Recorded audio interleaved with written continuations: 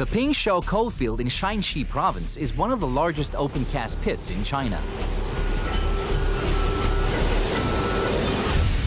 With reserves of coal estimated to be 12.6 billion tons in an area of 376 square kilometers, coal conveyors with a load capacity of 300 tons work day and night.